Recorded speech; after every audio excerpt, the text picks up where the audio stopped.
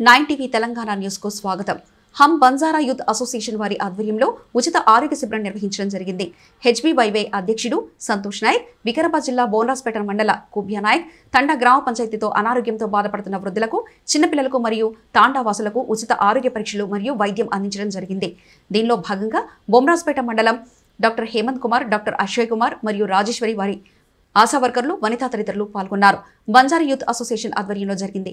ఈ కార్యక్రమంలో ముఖ్య నిర్వాహకులు హెచ్బీవైవై అధ్యక్షుడు M Santosh Nayak executive member Vinod Nayak Gopi Nayak Anil Nayak మరియు తదితరులు పాల్గొన్నారు.